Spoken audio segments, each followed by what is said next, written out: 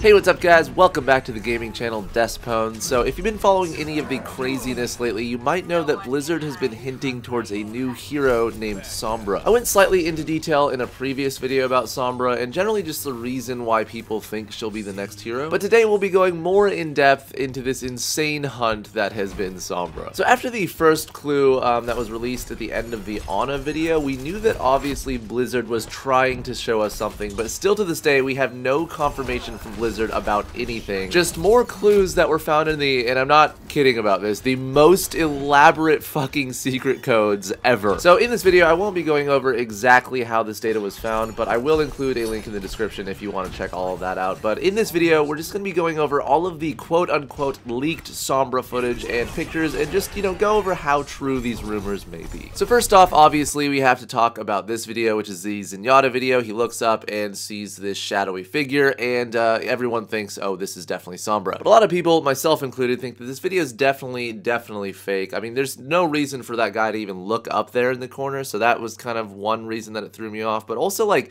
why would Blizzard put Sombra in the game before like anything was released about Sombra or it just doesn't make any fucking sense. And as far as the pictures that were released of quote unquote Sombra, I will say that they do look really, really convincing. I mean, they actually look like they're in the game, but again, why would Blizzard do something like this where they release pictures before an official announcement? Just doesn't make sense to me, I don't know. So though we don't really know the validity of the video and pictures that we've seen, um, here's the top five speculations of what Sombra Sombra may be. Number one, that Sombra may be the first ever stealth class hero. So while this isn't confirmed, um, Blizzard did say once upon a time that they would never make a stealth class hero, but despite that, it is really hard to ignore the obvious assumption of a stealth hero after the audio file leaks in the last PTR data mine that said, Now I can't see you, but I know you're there. Enemy detected.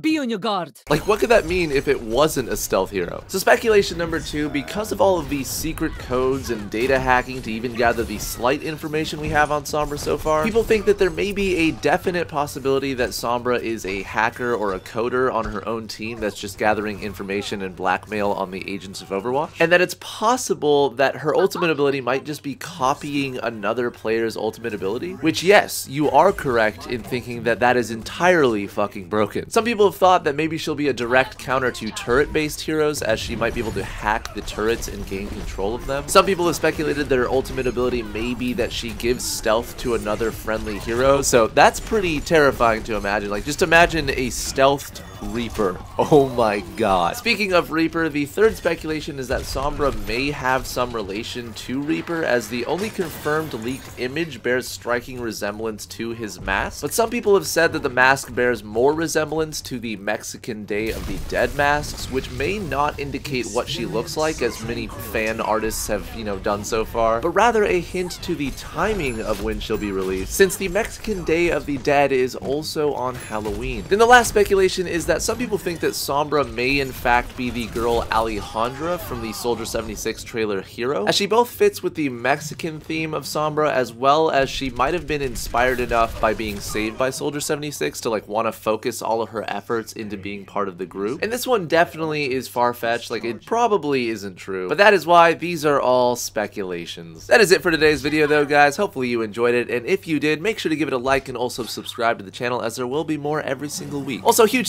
to my boy Atomic Muffins for the footage used in this video. Go check out his channel by using this annotation here, and yes, go say that I sent you or something. And I just spilled coffee all over myself, so I gotta go. God, commentating is so hard. Leave in the comments down below, though, what you think about these speculations, and if you have any speculations of your own for Sombra, because as of now, we really don't know jack shit. I'm, I'm gonna be honest, we don't know fucking shit. That being said, guys, I will see you next time, and fair winds.